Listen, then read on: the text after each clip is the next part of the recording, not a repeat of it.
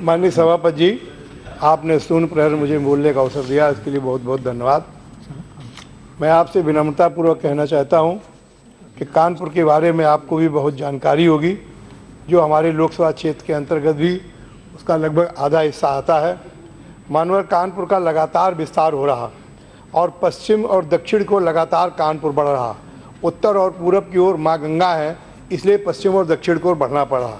और इसलिए मानवर मैं आपको सदन माध्यम से अवगत कराना चाहता हूँ कि कानपुर नगर के विस्तार के साथ ही मेरे मेरे संधि क्षेत्र में स्थित पनकी रेलवे स्टेशन, जिसका परिवर्तन नाम पनकी धाम अभी अभी सरकार ने उसका घोषणा की है और आप विधिवत जारी किया है, वहाँ भी बहुत जल्दी दस पाँच दिन में वहाँ व्यवस्था भी हो जाएगी, टिकट भी पनकी धाम के नाम से मिलने लगेंगे। लेकिन बढ़ती हुई आबादी के कारण, कानपुर की जो बढ़ती आबादी है और कानपुर सेंटर में बढ़ते हुए आपके यात्रियों के आवागमन के कारण बड़ी कठिनाई रहती है। कारण पनकी सेंट पनकी धाम स्टेशन पर बहुत सारी गाड़ियों का ठहराव हो गया।